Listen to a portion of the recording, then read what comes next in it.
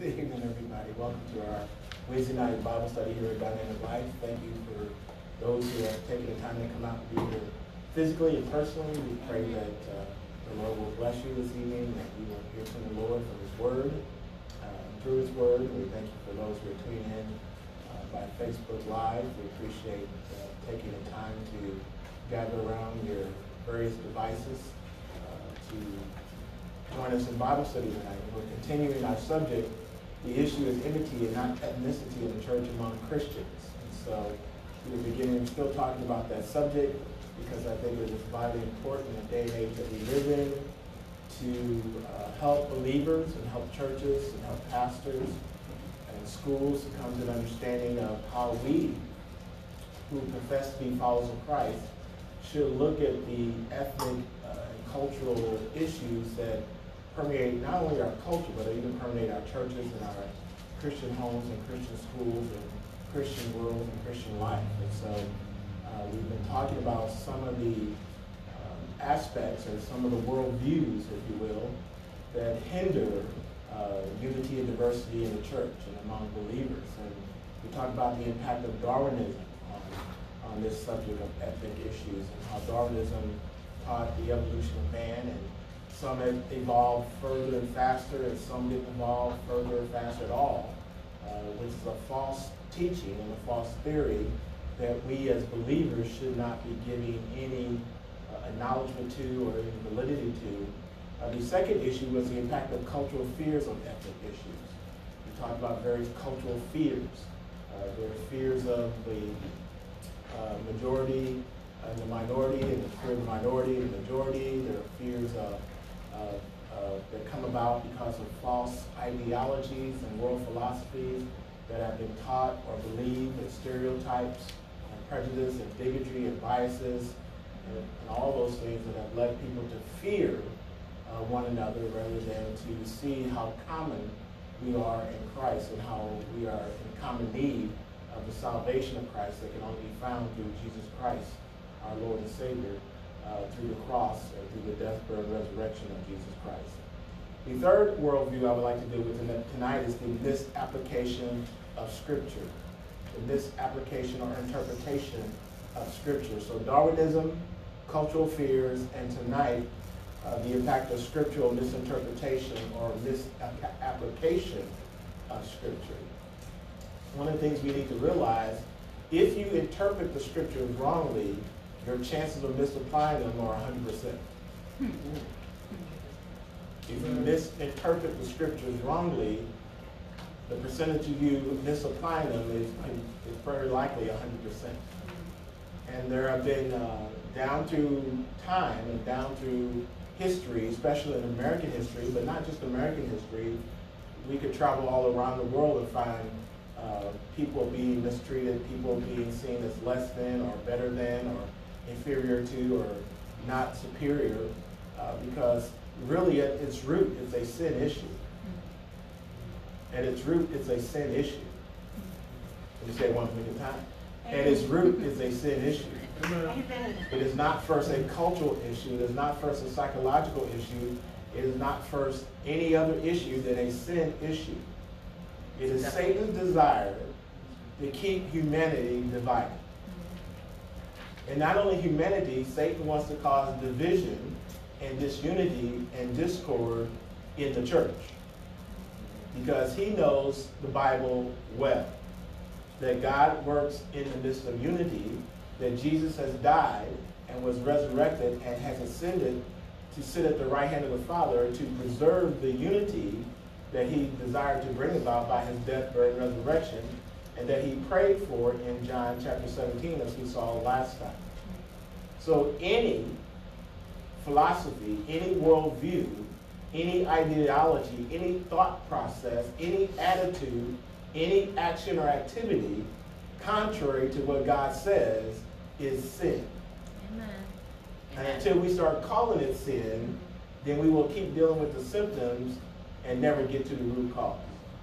Now, this issue of diversity and unity, this issue of division based on ethnic makeup or cultural background or because of uh, your status in life or lack of status in life.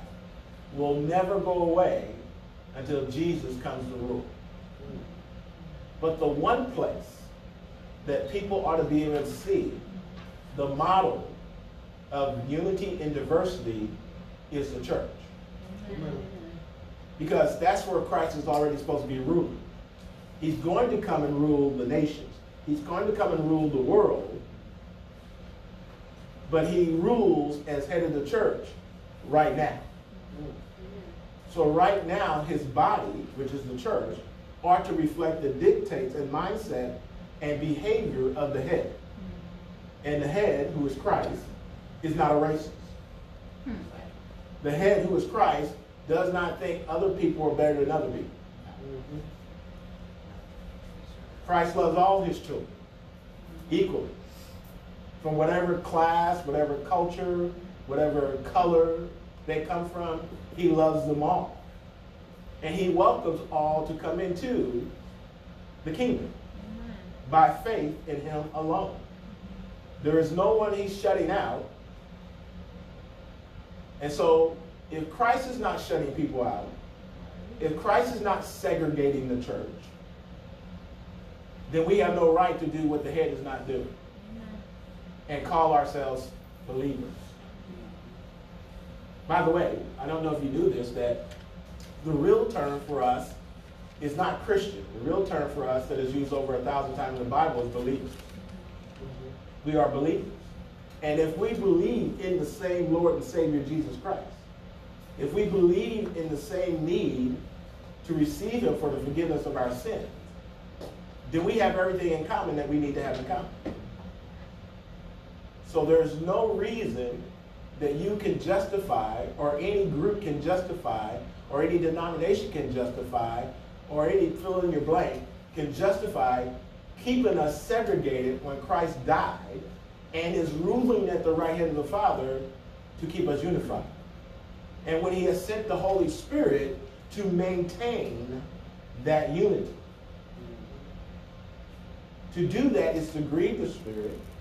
To do that is sin 24 7, seven days a week, 12 months a year, 365 days a year.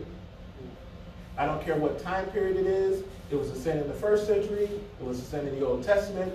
It's a sin today.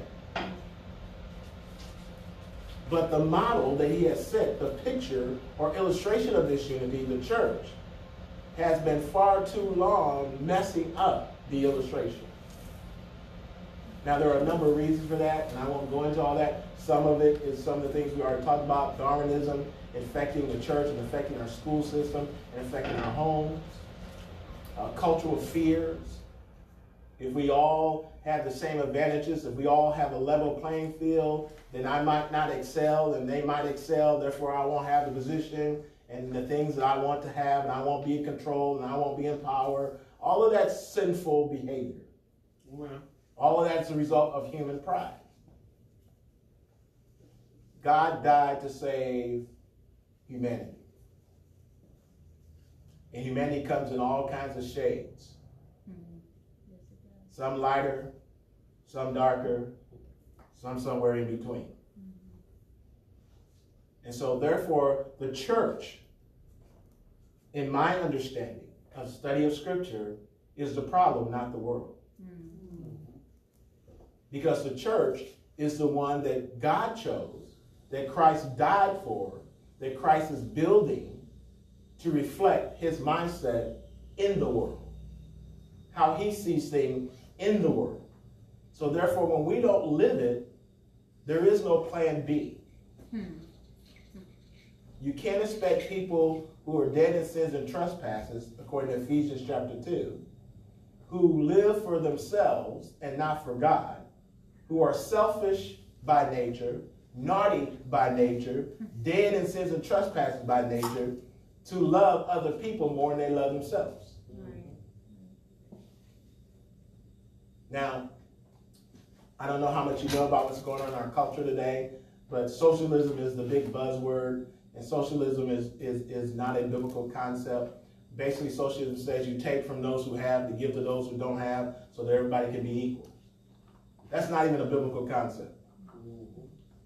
You don't take from others to give to others so that everybody can have the same. That doesn't even happen in heaven. And it doesn't even happen in hell. If you know your Bibles and have read your Bibles, you know that everybody will not receive the same amount of rewards in heaven when we get to heaven. So socialism isn't in heaven. God is not going to take from those who were obedient and give to those who were disobedient so everybody be equal. The Bible says some of us will suffer loss because we didn't live in obedience while our feet were walking on earth. But everybody's not equally punished, equally in hell either. There are some who will be more punished or have greater condemnation or greater punishment in hell than others will. So even hell's not a socialism. Mm-hmm. Are y'all with me this evening? Yes. Satan's not going to take punishment from you because he feels bad for you and give it to people who have less punishment so everybody has punishment equally. That does sound great. It's not going to happen. There's a lot of isms going on in the twenty-first century, though. Isms will kill you. Yes, they will. We did a lesson on isms You did? a couple of months ago. That's funny. And so um, the Bible, the Bible, it is clear in uh, Ephesians chapter 2. If you haven't turned there, let's turn there. Ephesians chapter 2, which is the foundation for what I'm teaching. And there's so many scriptures I can give you because this subject is all over the Bible. All over the Bible, but it is missed by most commentaries. It is missed by most pastors because it's not taught as an emphasis of Christ's work in salvation or the outworking of Christ's work in salvation. And just to refresh ourselves, we're going to start with verse 11 of chapter 2 of Ephesians. Therefore, remember that you once Gentiles in the flesh. A Gentile was anybody who was not a Jew. And Gentiles were considered pagans because they worshiped pagan gods and they were part of cults. And they were not followers of the God of Israel, who are called uncircumcision by what is called the circumcision. So the uncircumcision would be the Gentiles, and the circumcision would be the Jews. Okay? And they were two distinct people groups. See, some of y'all didn't catch that. They were two distinct people groups. Amen. Let me get say one more time. They were two distinct people groups. Amen. Amen. So in God's economy, how many people groups were there? Two. But we can divide this thing all up. We can't even recognize it. You were either a Jew or you were a Gentile. You were either redeemed or you were unredeemed. You were either saved or unsaved. Right. You were either dead in sins and trespasses or you have been made alive in Christ. Mm. Sounds like two is very common to in the Bible. Amen. You're either light or you dark. You are the sons of the day or you are sons of the night. Sounds like two is very common. Mm-hmm. Yes. So where are we getting all this variety? Isms. Isms, my sister said. Verse 12, that at that time you were out Christ, meaning the Gentiles, being aliens from the commonwealth of Israel, the promises of Israel, and strangers from the covenants of promise, having no hope without God in the world. So Gentiles, any Jews in the room? So I means everybody here is a Gentile. So this was about you before you were saved. Amen. You were outside the promises of God. You were outside the inheritance rights of God. You were outside the covenants of God. You were separated from God. But God did something in Christ Jesus. Hallelujah. Having no hope. Now, it says you had no hope. Mm. You were on your way to bust hell wide open. No hope of rescue until God did something. But the Jews were too. They, they just had the benefit of being Jews and having the Moses as their leader and, and having the Messiah come through their line, but they were un, just as lost as everybody else, which is what Romans 9, 10, and 11 teaches. But the point here is that in that culture, in that world, Gentiles were seen as those who were separated from God because they were not what? Following the God of Israel, who is Yahweh, the God of the Bible, the God of creation. Verse 13. But now in Christ Jesus, you who were far off, having been brought near by the blood of Christ. Amen. Praise the Lord. That's praise the Lord time right there. But now in Christ Jesus, you who once were far off have been brought near by the blood of Christ. And that's a reference to his sacrificial death on the cross. We have been brought near. We who were far off, Gentiles, the uncircumcised, have been brought near as a result of the death of Christ, the shedding of his blood. Because then that we have what? The remission or forgiveness of our sins. And every Jew needed that too. Amen. Amen. Having Jewish privilege would not have saved them.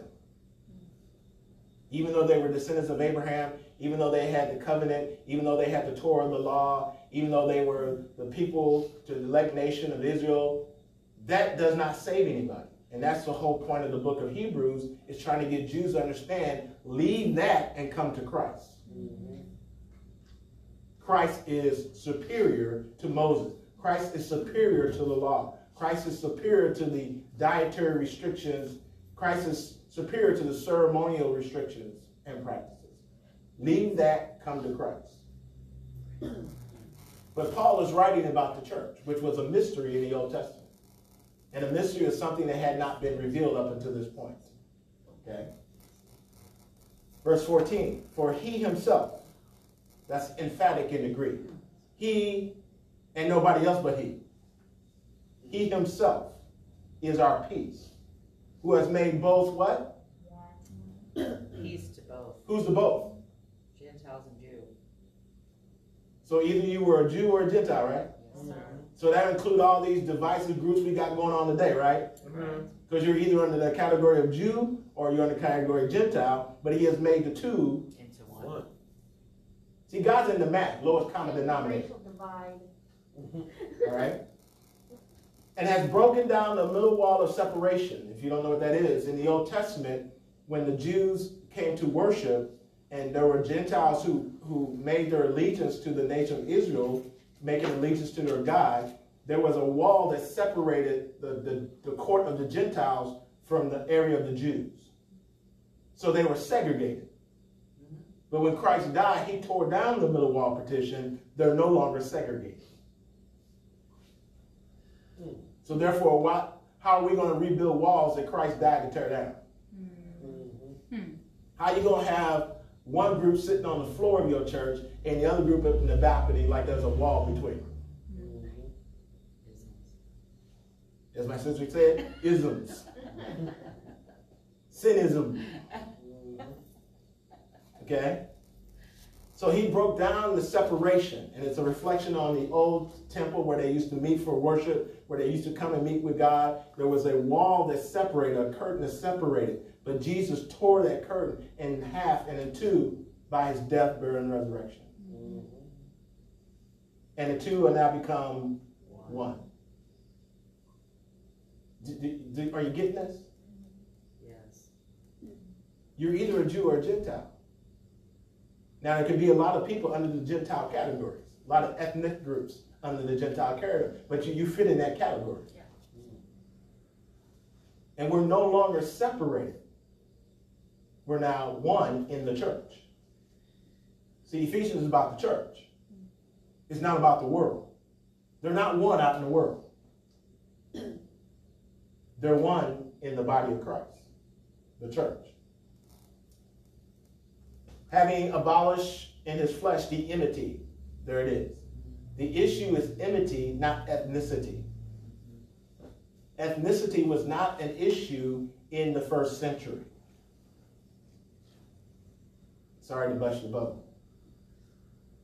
The problem was the enemy, what? Enmity, the hostility between the two groups. And not only the hostility between the two groups, there was a hostility between God and man. Christ's death solves both. Amen. Amen. Praise the Lord. Romans chapter 5 says we were enemies of God. There was a hostility. People hated God. They were indifferent to God. They didn't acknowledge the God of the Bible as the God of their lives. And even if you don't think you're God's enemy, he's your enemy. Hmm. If you're unsaved. Hello. Because you guys know, I mean, people say, well, me and God cool. No, you're not cool. And if you cool with God, he ain't cool with you. No, you're his enemy. And he's your enemy. No, no, I, I like the big guy upstairs. Well, first of all, ain't no big guy upstairs. There's Yahweh. There's God. There's the creator God, the judge God, the self-sustaining God, the eternal God. Is not a big guy upstairs. Mm-hmm. Wrong Well, house. my, my buddy upstairs, no, he's not your buddy. Wrong house. He's not your ace boom coon. He's not your partner. He's God. See, we have lost respect for the holiness and the righteousness and the character of God Amen. To where we've made him very common. Amen. And we refer to him in ways that are really disrespectful. But we see that in our culture among human beings, don't we? Amen. Men running around who are married talking about my old lady. That's Oh, yeah, lady, that's that's your wife. awful. Oh, That's your wife. that's awful. I agree. That is too. And we treat things very common. And nothing has respect anymore. It's true. There's no reverence for anything any longer. Mm-hmm. There's no holy fear that you might blaspheme the character and the name of God. Having Basi that the law of commandments contained in the orders so as to create himself one new man. Do we get the point? One, one, one. The two have become.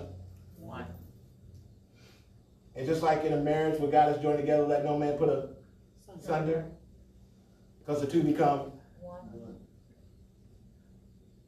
So we need to stop divorcing each other over shades, status, shades, shade, shade, shade, shade, shade, colors, Oh. ethnic makeup. It's really just a different shade.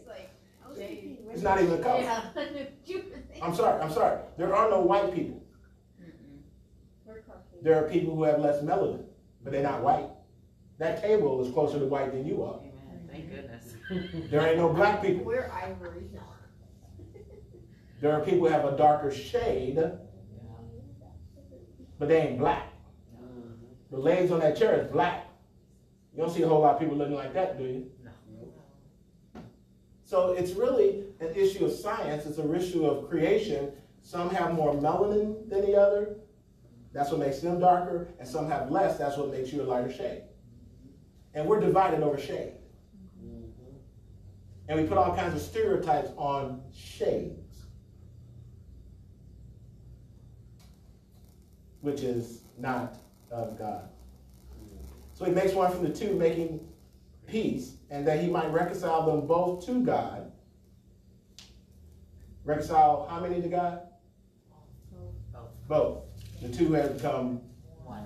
he reconciles to God. So since we are reconciled with God, and you're reconciled with God, I have no right to divide what God has reconciled, what God has mended, what God has brought together. Amen. in one body through the cross, thereby putting to death the enmity. He put to death the hostility, the separation. Put it to death. And he came and preached peace to you who were far off, meaning Gentiles, and to those who were near, meaning Jews. For through him we both have access by one Spirit to the Father. We got so much more in common than we got different now, Amen. as Christians, as believers. But the church has been messing this up because it has taken cultural worldviews and dismissed the Word of God. And then we've done that with Darwinism, we've done that with cultural fears. But tonight I want to talk about the impact of scriptural misinterpretation and misapplication related to this issue. The misinterpretation and misapplication of scripture by the church has contributed to the ethnic and cultural division among various people groups in America and around the world. Racism in the American church, whether as a result of Darwinism or human wisdom or cultural fears, continues with the misinterpretation and misapplication of God's word.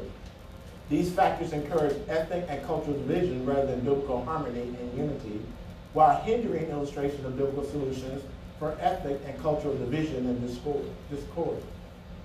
The root of racial discord and division is in the sinful heart of mankind and life in a fallen world. In other words, the world will never know what it is to be unified. But in the body of Christ, Christ has done the work to unify us. Amen. And jump over with me to chapter 4 of Ephesians, if you will. I, therefore, the prisoner of the Lord, beseech you to walk worthy of the calling which you were called. So he's now talking what? Both Jews and Gentiles, right? Saved Jews and Gentiles, redeemed, right? Believers, not churchgoers. He ain't talking to Baptists, he ain't talking to Presbyterians, he ain't talking to men, he's talking to believers those who have been reconciled to Christ and therefore have been reconciled to one another. Walk worthy of the calling which you are called. That word calling is always the call to election or salvation. So we now have to work, walk out our salvation. With all lowliness and gentleness, with long suffering, bearing with one another in love, endeavoring to keep the unity of the Spirit in the bond of peace. Christ has already brought the unity. We must endeavor to what? Keep the unity he died to bring about. Amen. So we're not trying to get unified. We're trying to what? Live out the unity that Christ already died to bring about. Amen. And that's one of the ways we what? Walk out our calling. That we live out our salvation. The problem is we got too many people claiming to be saved who are not saved who messing up the illustration.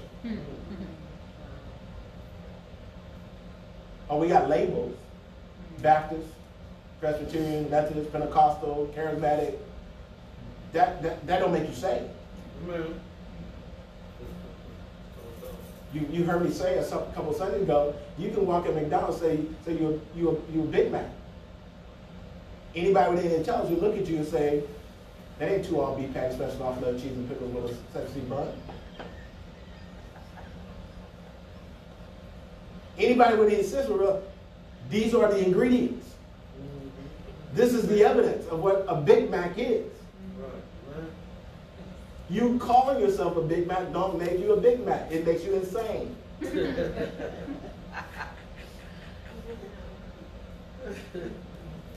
And there's a lot of insanity going on in God's house where people are supposed to have their minds set right. When we continue to accentuate the divide that Christ died to bridge, that is insane. That is not the mind of Christ. That is not the picture of the church. That is not the reality of Christ's death, burial, and resurrection, and the outworking of the death, burial, and resurrection. But so many people are controlled by the world view and not a biblical view when it comes to this issue. And, and the church, now listen to me now. The church, the man manufactured version of church, not the church that God brought into existence, the man made church keeps messing up the illustration. I want to be succinct with that. I want, I want you to understand there's a difference between the church that Christ oversees mm-hmm. and the church that man makes. Amen. Church for metaphysics. Racism, bigotry, prejudice, stereotypes that are not biblical are not allowed in God's church. Mm-hmm. But it is allowed in the man manufactured version of church. Mm-hmm. And if man manufactured it, the devil oversaw the manufacturing. Mm-hmm. So it's really the devil's church. Sure is. And all the churches is a call out of sin. And Satan calls out people from the world to counterfeit so he can mess folk up. He wants to mar the illustration. He wants to rewrite the Bible. He wants to manufacture followers after him. Because remember, one of the reasons he got kicked out of heaven was? He wanted to be like God. He still wants to be like God. And he wants to have worshipers just like God wants to have worshipers. But his illustration doesn't look like God's illustration. You have to understand that. And there have been churches, black, white, Asian, Hispanic, you fill in the blank, who have taken scripture to justify maintain, maintaining the division and discord. And it is not biblical, it's sinful to do that. Y'all with me still? Amen. These factors encourage ethnic and cultural division rather than biblical harmony and unity, while hindering illustration. The root of racial discord and division is the sinful heart of mankind, like in the fallen world. No earthly wisdom can fix the problem of a sinful heart. So y'all can march till y'all blue in the face. Y'all can vote in whoever y'all want to vote in. Y'all can go down there and, and riot and do whatever, storm the Capitol, storm the police station, burn, whatever you want to burn. That will not fix a sinful human heart. Amen. Only the gospel, Only. only the good news of Jesus Christ can fix a sinful heart. Amen. And a sinful heart is the problem. Amen. Not slavery from the 1600s, not the fact that Jim Crow laws were enacted. All that's bad, but the problem is sinful hearts. Amen. And one of the problems is we want to change structure without changing people. But people run the structures. Amen. People run the government. People run the business. People run this. People run that. And if their heart is messed up, whatever they're running is going to probably be messed up. Oh.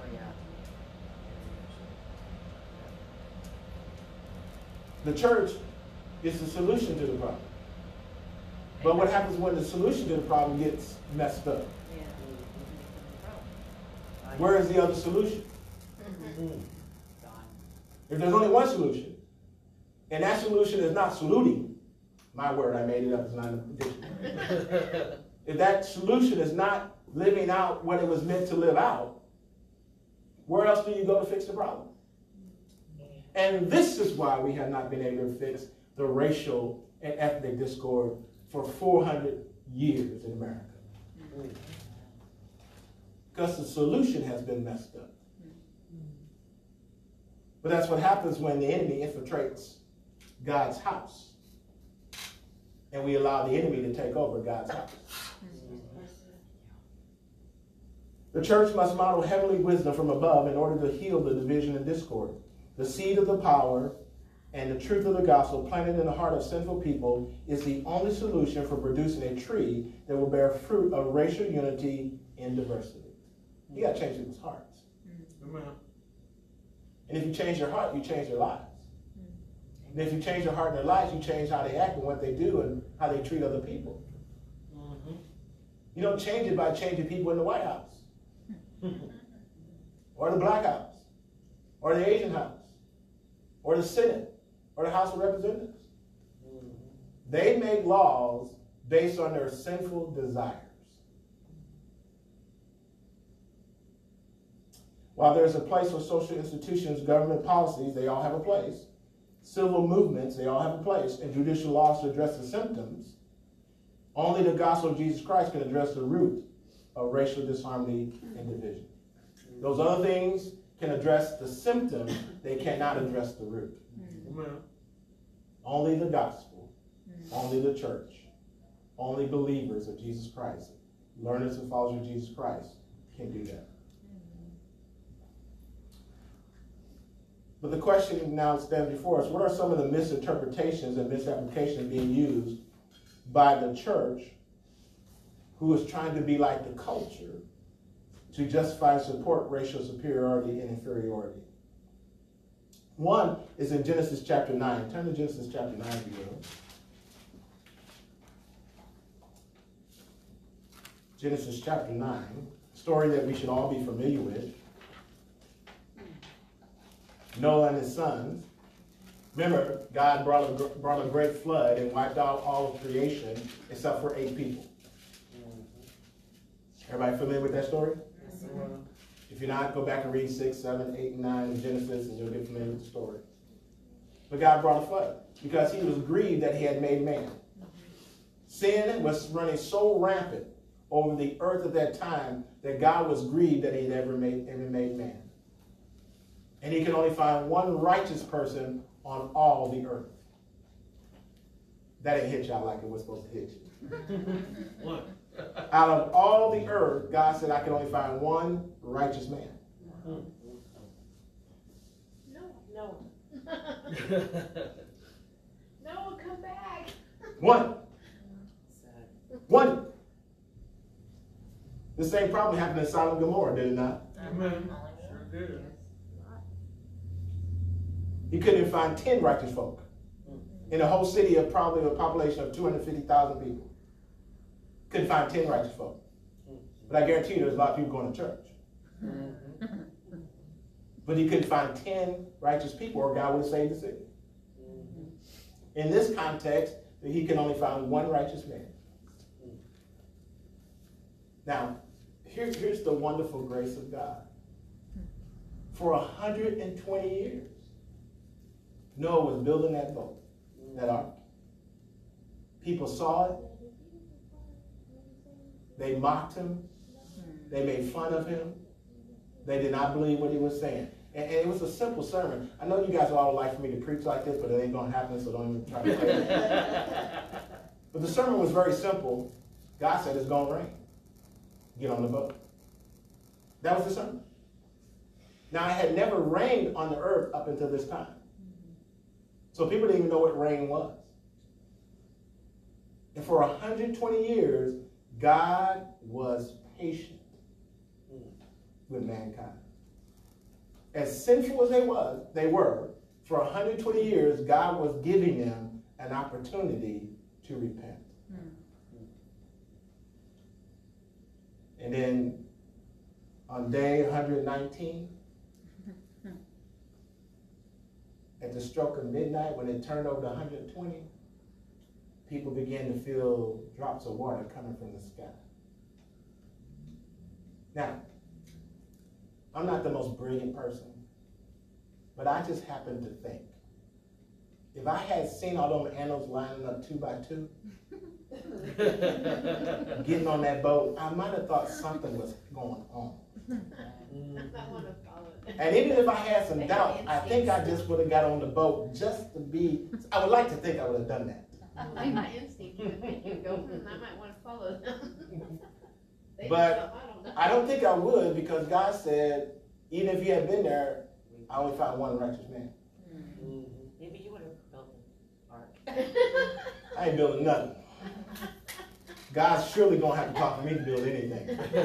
you don't want me hammering no nails, you don't want me having a screwdriver, you don't want me no power tools, you don't want me with none of that. Fair enough. Very good, very So they get on the boat, and it rains for 40 days and 40 nights, right? Mm-hmm. And water covers the earth, and everything dies. Everything dies. Everything's killed by the flood. There's water everywhere. And then the water resides, and, and the boat lands, the ark lands, and they get out, and that's where we find ourselves in Genesis chapter 9. Look at verse 18 of Genesis chapter 9. Now the sons of Noah who went out of the ark were Shem, Ham, and Japheth. So there were eight people on the boat, and they were all Noah's family. Come on, eight people. One, two, three, four, five, six, seven, eight, nine, ten, eleven. Some of y'all getting left behind. Three of you. That ought to make you shiver in your boots just a little bit. Mm-hmm.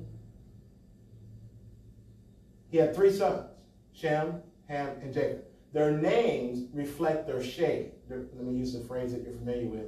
Their skin tone. Everybody with me? Mm-hmm. Ham was dark. That's what Ham, the word Ham means. Japheth was somewhere in between, and Shem was light. So the ethnicities are built into Noah's three sons, and they repopulate the whole world. Now, I can give you the science of how that can happen. There's a good book by Ken Davis. and Charles Ware called uh, One Blood that tells, gives you all the science of how that can happen and how you can repopulate and have all the different ethnic groups just out of three people. But we don't have time to deal with that tonight. And Ham, verse, the next part of the verse says, and Ham was the father of who? Canaan. Everybody got that? So Canaan is the son of Ham, right? These three were the sons of Noah, and from these the whole earth was populated. See, I didn't make that up, it's in the Bible. From these three, the whole world was populated. And Noah began to be a farmer, and plant, he planted a vineyard. Then he drank of the wine and was drunk and became uncovered in the tent. And Ham, the father of Canaan, everybody got that? Saw the nakedness of his father and told his two brothers outside. But Shem and Japheth took a garment, laid it on both their shoulders, and went backward and covered the nakedness of their father. Their faces were turned away, and they did not see their father's nakedness.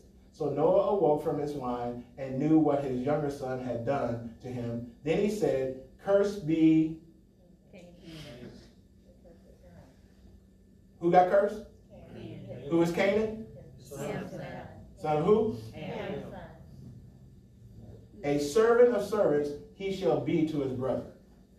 Now, what happened is that back in time, there was a Bible written where in the notes on this text, it says that Ham was cursed. We call it the curse of Ham. But you all just read the text. It wasn't Ham who was cursed, it was who? Who was one of the sons of Ham. Not all the sons of Ham. And that, that was taught in seminaries and Bible college that all dark skinned people were meant to be slaves of the other two brothers. That? So it was taught that all blacks, all dark skinned people were meant to be slaves of Shem and Japheth's kinfolk. So therefore, why, the reason why blacks should be slaves, Africans should be slaves, is because of the curse of Ham. But Ham wasn't cursed, it was Canaan. Mm-hmm. But it was taught in seminaries that the curse was on Ham, which means all his descendants would have been cursed to be slaves. And that's how the church misapplied scripture to line up with the culture. Not at all, because skin was dark. It's really stupid. Where did you get it from? It doesn't say that in the Bible. Same way y'all get stuff in that ain't in the Bible.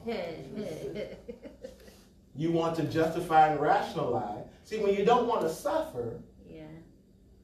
see, they wanted to capitulate with the culture. Because of white privilege and white dominance, they had to come with a Bible scripture to justify what the culture was justifying. Mm-hmm. Okay. So that they wouldn't be what? Attacked by the culture. Come on, think about this. Think about this. You gotta think through this. If you are a part of the majority group, whites, and you don't want to suffer retribution from other whites, you got to figure out to go away to go along with them so that they don't come against you. Well, it's not really my personality, but we'll go with that. You But gotta that- go, I- you gotta go with that's what happened in the instead culture. Against the grain. You In go the against the grain and you're gonna get roughed up. That's what happened in the culture. Fair enough. See, I, I- don't want to support the fact that you're wrong as a majority group when I belong to a majority group, and then have you come and burn my business. Fair enough. or have come, come and persecute me. So what they decided to do is go to the scriptures, misapply the scriptures, so they could justify lining up with the culture. It goes against everything what the Bible says, though. We don't care what the Bible says step of it. until we care what the Bible says. I'm just telling you what happened. Yeah. So this was in the footnotes of, of the old Scofield Bible. And this was taught in seminaries and Bible colleges, and people and pastors were getting trained in Bible college and seminary and going out and teaching this in their churches. And because the pastor was saying it, the people were saying it must be right. But if you just read the text, You can't come up with that. Right. But people didn't care about the tax. Mm-hmm. We got another thing that's going on in our modern day, right? They want to tear down all the statues of people who owned slaves. Yeah. Take their names off schools, take their names off colleges, take their names off this, take their names off that. Because if you owned a slave, that was sin. You don't get that from the Bible. You don't get that from the Bible. Owning slaves in the Bible was not a sin. It happened in the Bible. Mm-hmm. Leviticus chapter 25, Genesis. The people of Israel owned slaves. Mm-hmm. Some of them were their own people, and some of them were foreigners. Because there was a number of ways to become slave, and this even happened in the first century. I'm teaching a, a New Testament survey class on Tuesday nights at a seminary online, and, and there was a section where they had to read about this, where slaves were all over the then world at that time in the New Testament. Mm-hmm. It's messing folk up mm-hmm. Right. But the because there's no condemnation for people being slaves, and there's no no condemnation for people having slaves. So let me tell you what the danger is that people don't even know. If you're going to burn up everything and tear down all the statues because people own slaves, you got to burn this Bible. Because people own slaves in the Bible.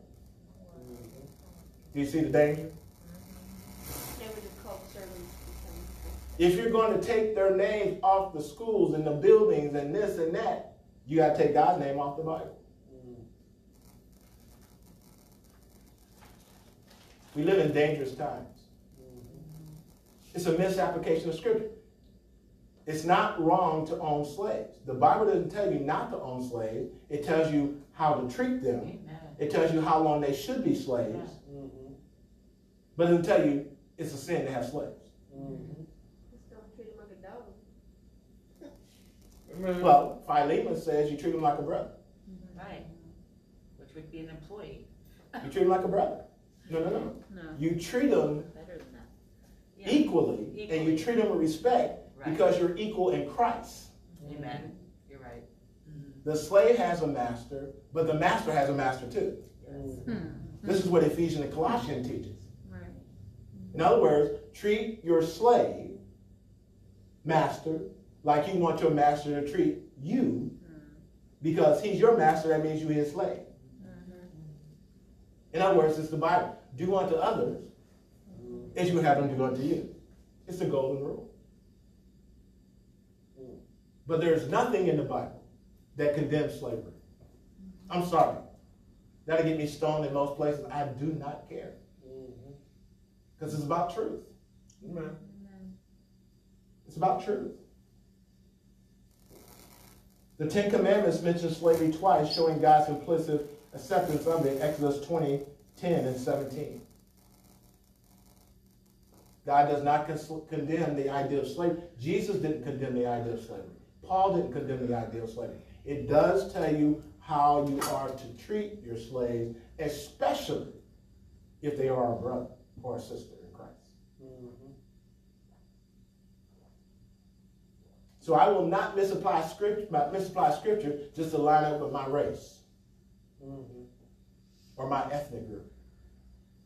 It's about the truth, the whole truth, and nothing but the truth. But what you need to know in the Bible, it wasn't just black folks who were slaves. Mm-hmm. There were European folk that were slaves too. Mm-hmm. Egyptians who were slaves. Mm-hmm. Assyrians who were slaves. Babylonians who were slaves. Fill in the blank. Slavery wasn't just localized to just one people group like the Curse of Ham tries to teach. Mm-hmm. Irish made slaves of their own people. Mm-hmm. The Chinese made slaves of their own people. Mm-hmm. Come close. Black folks in Africa made slaves of their own people. I can take you to the place in the world right now. Everybody black in that country. The government, the Senate, the, the, the emperor, the ruler, and they're mistreating people who look just like them. Because it's a sin issue, Right. not a race or ethnic issue. Mm-hmm. Did you know slaves could be doctors and lawyers? Mm-hmm. in the Bible. Mm-hmm. They could be soldiers. They could be politicians. One of the ways that people became slaves is that one king conquers another nation. So then when he conquers that nation, all the people of that nation now become what? Slaves in his country. And they can be doctors, they can be lawyers, they can be politicians, they can be athletes. This is in the Bible. This is in the Old Testament and New Testament time. It was not based on ethnicity. People could sell themselves into slavery because they were better off in slavery than they were being free. Slaves were treated well because they had, depending on who their master was, because the respect of the master would trickle down to the slave. But the Bible always condemns abusive slavery, but it does not condemn slavery. Are y'all with me? Yes. It always, always uh, condemns abusive slavery, Amen. but it does not condemn slavery. And you need to study history for yourself instead of letting the news media people who have an agenda tell you what history is. Amen. There were slave owners who treated their slaves better than their children in American history. There were some American slave owners who kept people as slaves because they knew they were better under them than they were if they were free, because they couldn't take care of themselves.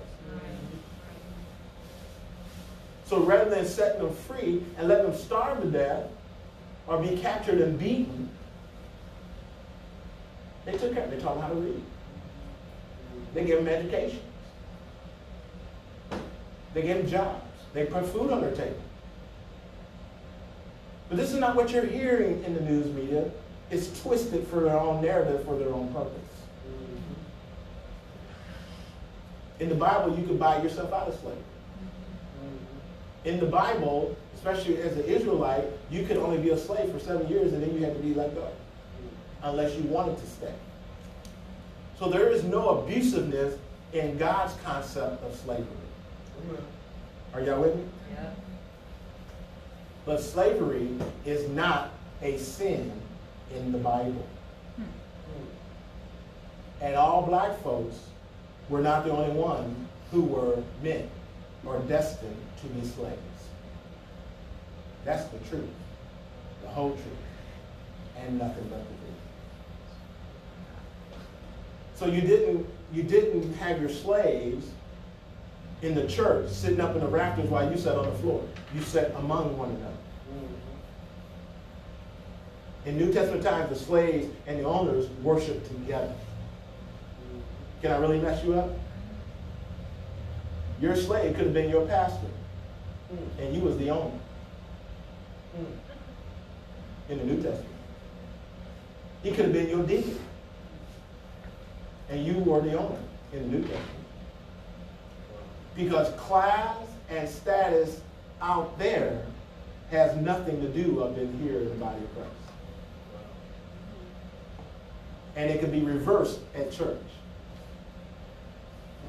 This is the New Testament. This is the world that slavery was going on, and this is what was going on. Just read your Bible sometime. Do some background study in the New Testament. Find out about their work. You'll be surprised. Slavery was widespread throughout the Roman world, and yet Jesus never spoke against it. Did you know that? Never spoke against?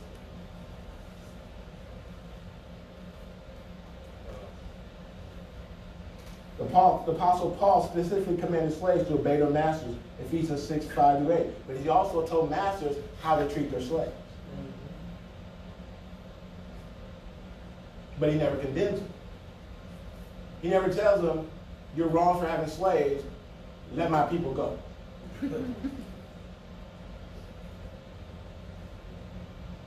Paul returned a runaway slave, Philemon, to his master in Philemon, verse 12.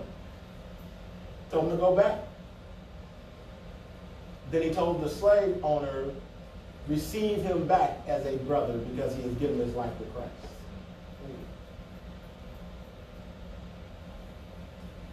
You see what happens when we don't know our Bibles?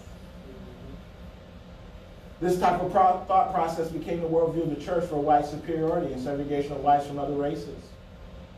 This thought process became the basis of the superiority of European culture over all other cultures and cultural practices.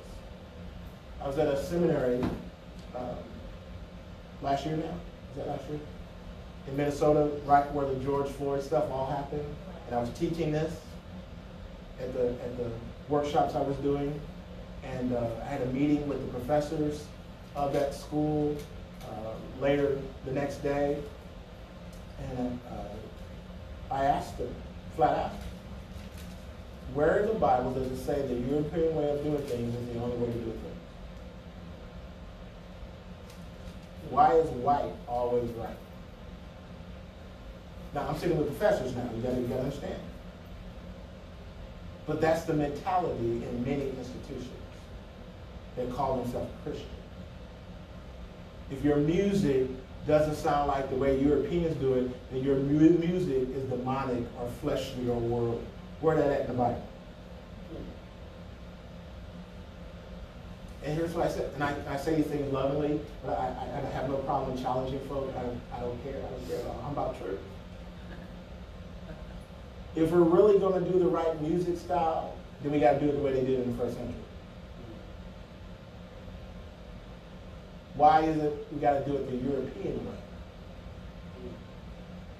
Four bars, four courses, four lines, very mild tempo, don't get too excited.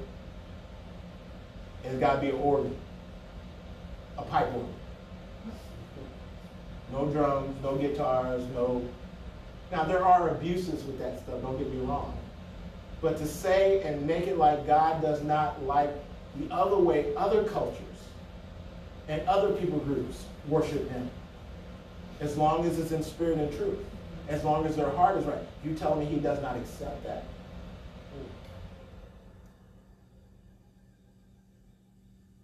Your white privilege is wrong. It's about the heart.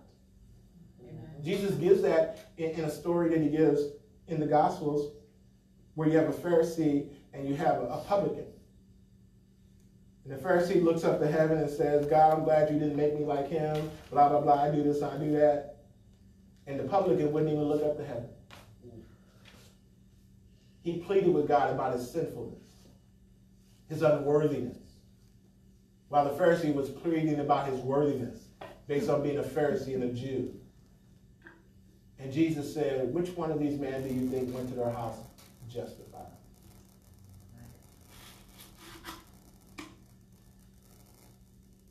See, in that culture, they would say the Pharisee. Mm-hmm. Jesus said, No, the publican, because he was humble. Mm-hmm. He showed attrition. He showed godly sorrow for his sin. The Pharisee was prideful. Thought he had a right to be up in here talking to God. It's about the heart. It's about the heart. Whose worship do you think God going to accept? The man who acts like the Pharisee, the one who acts like the publican? Let's say the publican did it with the wrong style according to you, but Jesus says his heart was right. The Pharisee had the right style. He did the European way, but his heart was wrong. I don't receive that. So having the right style is not what matters.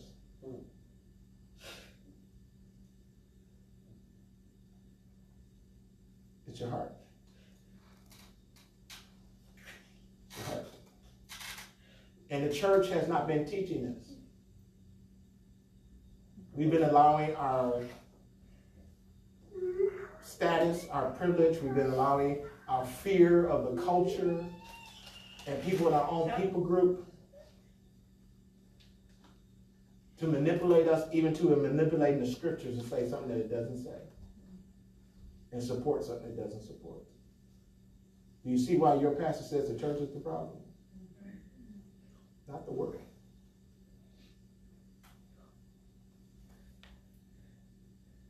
This thought process became the basis of superiority of European culture over all cultures and cultural practice. In response to this, African Americans adopted the same attitude and action towards whites. We turn around and do the same thing. Mhm.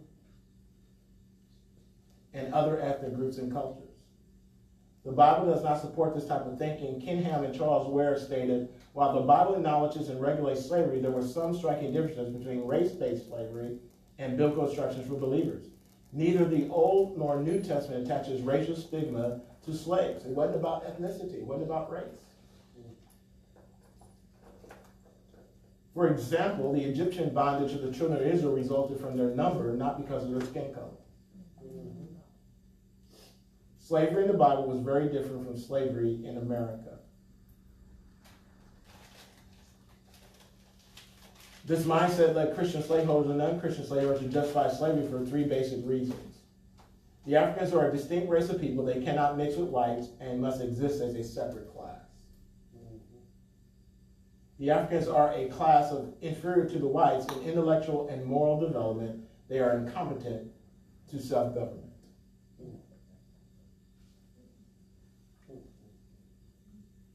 See, that's why y'all angel food cake and we devil cake. The angel food cake is light, the devil food cake is dark. We those stigmas came out of this. Those stereotypes that we even put on food comes out of this. I can name so many others that just blow your mind. The Israelites subdued heathen people groups. It is appropriate to make domestic slaves of inferior people. This is how whites, Europeans in America have perpetuated and supported this kind of mentality of blacks and darker skinned people being the inferior group. They're, they're not intellectually on our level. They're, they're morally more wretched than we are. Where that at in the? I thought everybody was dead in sins and trespasses until they were made alive in Christ. These views provide a basis for debate over the justification for American slavery and the lack of justification for American slavery. One such debate is found in this quote. The debate within the Christian community over slavery led to splits within major denominations. I'm telling you, this has been a problem in the church and still is. Many of the splits left the more fundamental evangel- evangelical groups supporting race-based slavery, while many of the more liberal groups were abolitionists. Do you, do you see why blacks tend to go to the liberal groups? Mm-hmm. For example, the issue of slavery divided the Baptists into two groups in 1845. The Southern Baptists who were pro-slavery and the American Baptists who were abolitionists.